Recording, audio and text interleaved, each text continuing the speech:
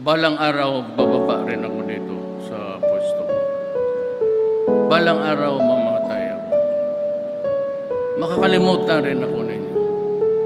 But let me leave you a message that is very important and it would spell the difference between progress and development and maybe a failed country.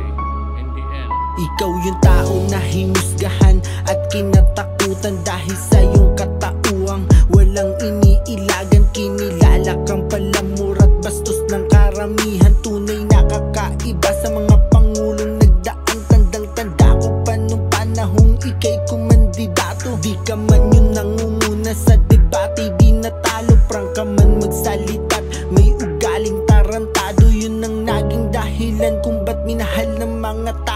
Sa iyong pagkapanalo Aking nasaksihan. Pagbabagong ninasam Unti-unting nakakamtan Maraming adik ang dahil sa'yo. Ay nagbagong buhay Iskinitang dating madilim. Ay nagkaroon ng kulay Binaga mo ang pader ng mayayamang oligarko Na siyang nagpapahirap sa maraming Pilipino. Hinayag mo ang basurang nakakubli sa gobyerno. Kahit na alam mong buhay mo ang kapalit nito sabi ko sa kanya, ikaw ang dalhin ko, buksan mo.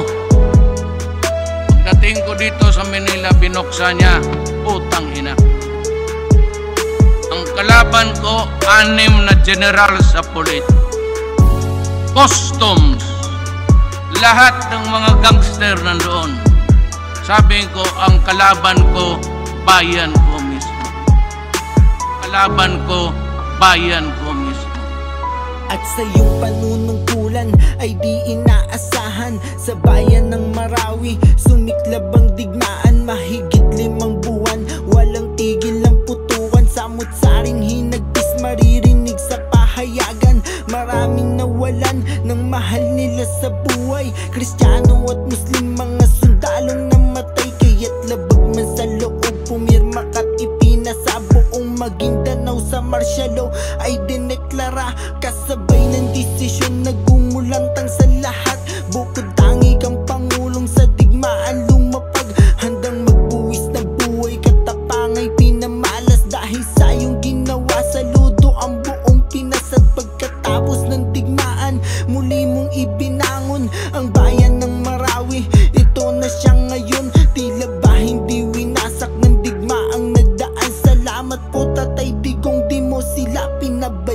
Ano ang dapat abangan ng ating mga kababayan at ano po yung mga maipagmamalaki yung legacy ng Duterte administration? nothing. All I want the people is to just look around. Ito, ganito. Hindi ko ipagyabang. Una-una, hindi ko ito pera. That's not, uh, that's not my money. All I would just say is that we built the, and that's all. I will not crow about it in public. Ngunit para bang pagsubok Sa'yo'y naglalaro. Isang kakaibang sakit ang lumaganap sa mundo. Sakit na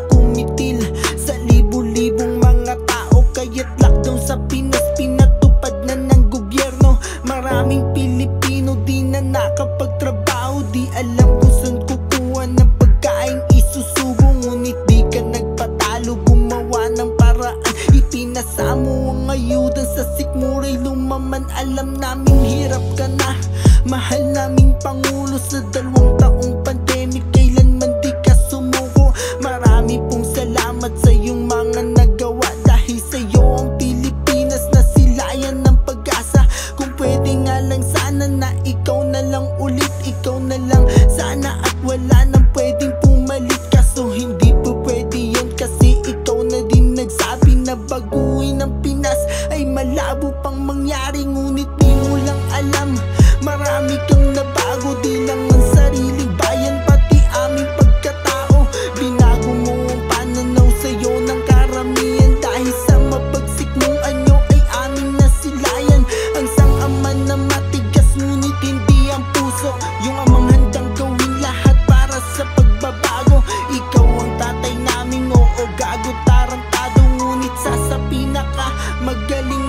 pangulo Marami pong salamat sa iyong pagmamahal Pangako namin sa aming puso Di ka matatanggal Marami pong salamat sa iyong pagmamahal Pangako namin sa aming puso Di ka matatanggal